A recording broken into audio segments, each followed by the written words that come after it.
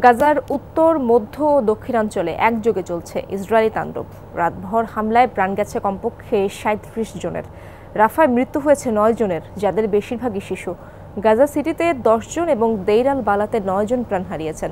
রাফায় স্থলাভিযানের জেরে বাসিন্দাদের সরে যেতে বলা হলেও ক্রমাগত বাড়ছে আগ্রাসন।